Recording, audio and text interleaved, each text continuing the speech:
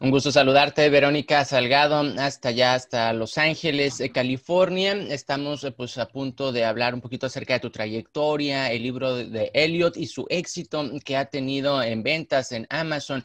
De esto nos estarás platicando un poquito, pero primero eh, platícame pues acerca de cómo nace tu gusto por la literatura, cómo nace tu gusto por las letras y cómo pues incursiones en este mundo, digamos, este, de la creación literaria eh, y, cuándo fue esto? ¿Cómo, fue? Cuéntanos un poquito, Verónica.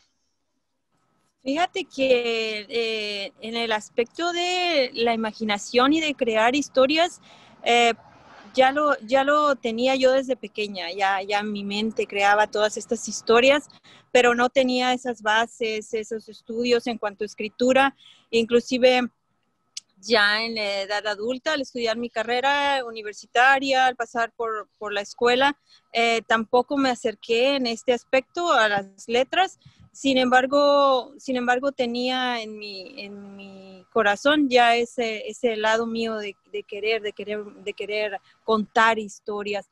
Y, se fue dando poquito a poquito. Em, sin, saber que lo, llevaría a, la realidad hasta que me dolió mucho el tema de, los perritos callejeros y al, trabajar eh, con ellos muy de cerca en este aspecto de la rehabilitación, desde que, desde que llevas este perrito de tu casa dolido, pasa por, eh, por esta etapa de, visitas al veterinario, de cómo cambia también eh, el perrito de estar pues al borde de la muerte, puedo decir, hasta ya verlo completamente, ¿no? Vivo, con, con su pelito brillante, ya a salvo totalmente de, haber muerto en, las calles. Me cambió profundamente eh, también todo ese proceso de, adopción, de encontrar familia, esas, es, las, las, preguntas al veterinario, bueno, ¿qué pudo haber pasado con él? ¿Por qué los dientitos destruidos muchas veces con, con tierra todavía aquí, ¿no? Cosas que, que, me dolieron mucho, algunos de ellos no, no sobrevivieron y, y, tuve que, tuve que ah, tomar la decisión de que ahí mismo en el veterinario de que se durmieran, entonces me, me dolía tanto que, que supe que era el momento de usar eso, eso que ya venía en mí por, por, derecho de fabricación, voy a decir, eh, para crear una historia. Y de ahí nació mi necesidad, fue una necesidad de, contar esta historia. Eh, Elliot, Elliot, es un perrito que vive conmigo, es un perrito que también iba en adopción por alguna manera, no lo cuidaron, regresó a mi casa y lleva la historia, su nombre. Eh, tratando de, hacer eh, ver a las personas o de hacer un llamado de atención a toda esta problemática y sobre todo el, dolor tan grande que pasan esos perritos en la calle eh, en busca de una oportunidad. De ahí, de ahí nació la historia de, de Elliot. Ok, ahora, eh, ¿qué tan eh, complicado o, qué tan fácil fue el hecho de, pues, eh, resumir toda la historia de Elliot, de elaborarla, de fraccionarla quizás este, en, un principio, en un desarrollo, en una conclusión y de, pues, luego esto montarlo, ¿no? digamos, en escena. Platícanos un poquito cómo ha sido todo este proceso, cómo fue para ti, cuánto tiempo te llevó. Uh, fue un proceso largo, primero porque había que luchar conmigo misma, dudas, dudas, eh, eh, miedo sobre todo, ah, porque no sabía cómo iba a, tomar las, la gente la historia. Sabía que era el perrito el que iba a contar eh, todo lo que vivía en la calle y primero tuve esas barreras conmigo misma. ¿Cómo, cómo, cómo voy a hacer para que el perrito hable cómo, cómo voy a lograr que tenga esa conexión la historia con el, con el público, con los lectores, si va a ser un perrito el, el, que te va a decir, el que te va a contar del comportamiento del humano, lo que vive en las calles y todo esto. Entonces, fue un, un, buen tiempo de pensármelo, de, de, de imaginar cómo podría ser, cómo podría inclusive empezar a escribir, cómo podría el, perrito lograr e, esta conexión con el público y después de un buen tiempo me, que me sentí a escribir, la historia fue, fue fluyendo. Eh, después de esto vino un, una parada, puedo decir, en, en, en, la mitad de la historia porque viene un, momento muy fuerte, un, momento en el que habla de la pérdida. Eh, y, sabía que, que, en esa parte de la historia quería una conexión fuerte que llegara, porque llegara al público, ¿no? Sabía que nosotros también eh, como seres humanos tenemos ese momento de pérdidas tan grandes que, que a veces no le vemos una salida o no vemos que pueda haber un, un mañana después de, después de ese dolor tan grande. Lo, lo viví en con los animalitos también, me tocó ver a, la madre eh, junto con los cachorros y ver a los cachorros morir, la madre sobrevivir. De, de todas esas experiencias nace la historia de, de Elliot y me di cuenta que, que tienen muchas uh, cosas en común con nosotros, con muchas más de, la, de las que podemos ver. Eh, la mayoría de personas, a menos que tengas esa conexión tan cercana con, con, un, animalito, con un perrito en este caso. Y, y, ese tema me detuvo uh, algunas, algunos meses después de, de, de, saber en mi corazón que, que, se quedaba, que no, que no lo iba a, a quitar ese tema tan duro. Eh, la historia siguió fluyendo hasta, hasta terminarla. De ahí vino otro proceso también muy difícil porque no conocía a nadie, no sabía, bueno, ya tengo la historia. Ah, como todo proceso creativo necesita de también después de terminar de escribir, un, editor, alguien que, te diga, bueno, pues esto está así, necesita este tipo de arreglos. Y empecé una, búsqueda, una investigación bien larga también. Eh, encontré a mi amiga Concha, preciosa de, España, que me dijo, ah, pues vamos, yo te, voy a, yo te voy a apoyar con eso. Estuve trabajando con ella algún tiempo. Eh, después de eso vino otra pregunta muy fuerte para mí, ¿cómo voy a hacer para, que, para, para dar a conocer la historia? Ahora, ¿a quién me voy a acercar? ¿A qué puerta voy a tocar para que el libro se, se vea, para que la gente sepa de él? Y uh, después también de investigar este, este otro tema, eh, me encontré con Ana Nieto de España, especialista en marketing digital y me gustó, empecé a investigar todo lo que ella hace, todas las, las estrategias que, que, utilizan en, en, Amazon, cómo se mueve Amazon para posicionar un libro y también ahí vino un tiempo de investigación hasta lograr que la primera edición eh, estuviera a la venta en Amazon. Eh, como nadie, nadie, nadie, nadie me conocía, también empecé a tocar puertas. Bueno, yo, yo soy Verónica Salgado, tengo la historia de, de Helios, me podían dar la oportunidad de leer en esa escuela, así empecé, inclusive me diste la oportunidad tú también con, con los chicos del IGD de presentarlo ahí y también ha sido un camino de aprendizaje de años y ahora hasta llegar con esta segunda edición.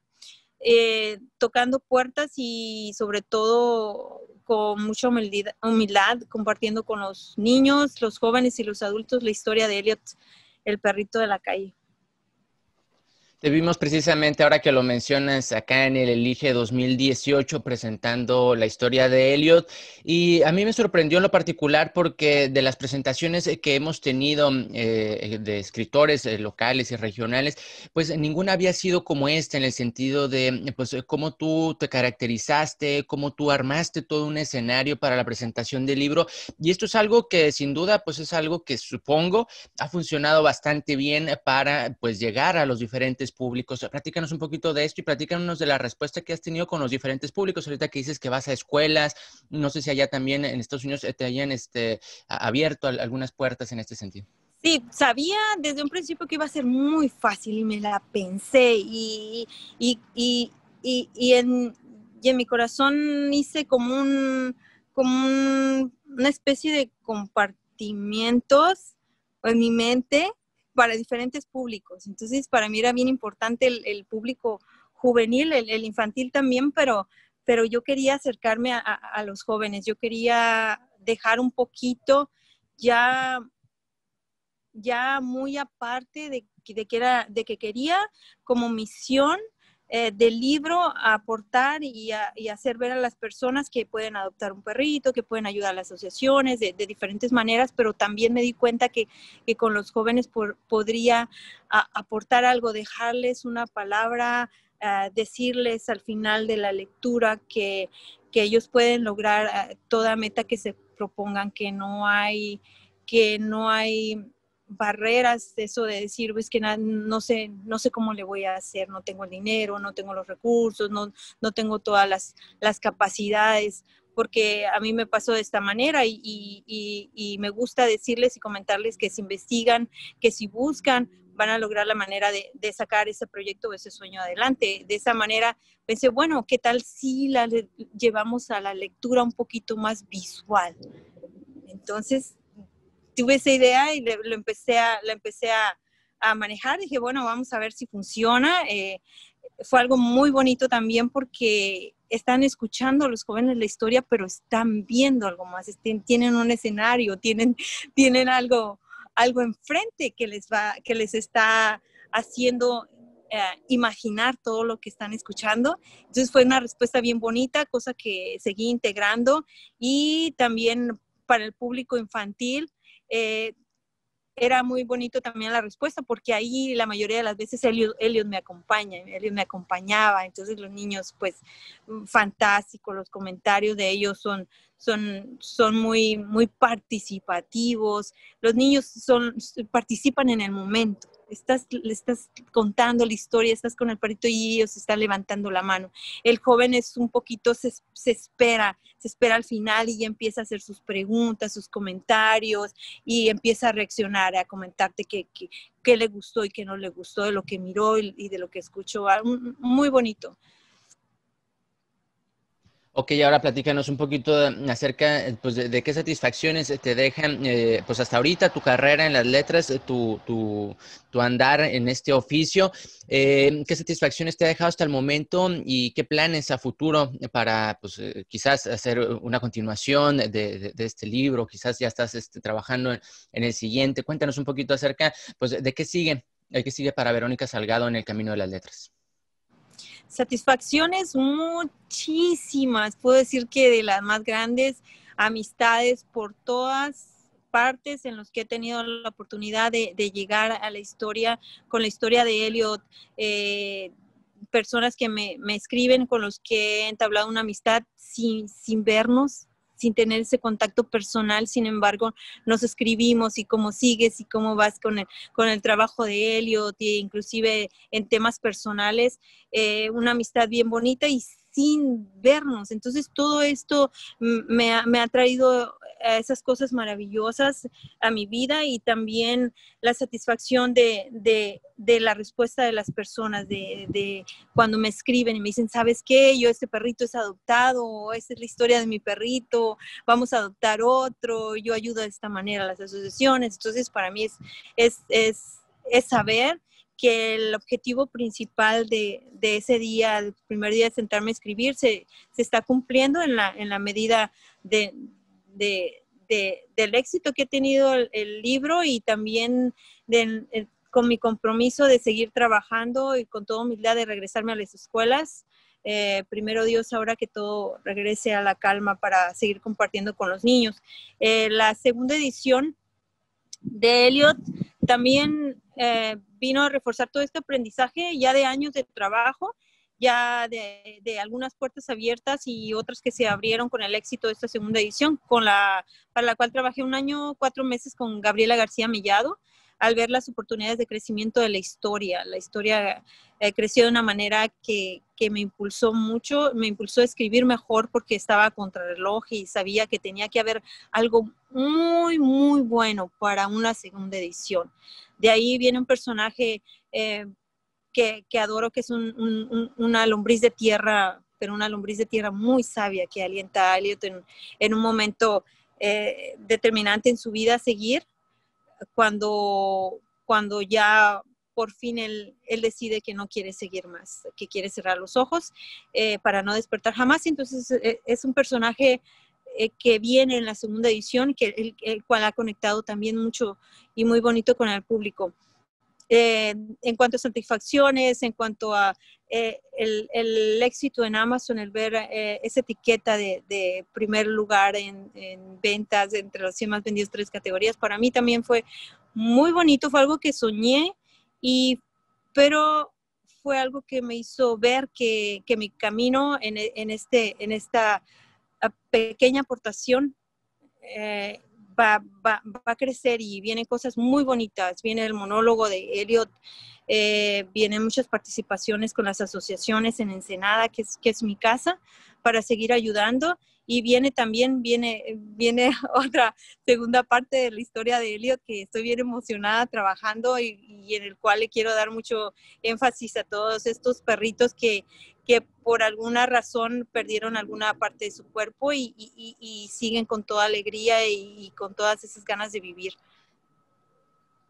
Platícanos un poquito antes de despedirnos eh, de pues, eh, las semanas que duró en el primer lugar de ventas en esta categoría, el, libro de Elliot, y pues esto de, alguna manera, este, pues cómo también luego pues eh, volteó los reflectores hacia ti, ¿no? Sí, el libro salió a la venta y desde el primer momento mm, se posicionó. Eh, ahora puedo decir que el libro agosto, septiembre, estuvo más de un mes en primer lugar, se iba al 2, al 4, regresaba y cosa que yo pues todos los días estaba, estaba sin, sin creérmelo porque revisaba y como pues otro día, inclusive con Adaí Villarreal, que es mi amiga y, cómplice también de esta historia maravillosa.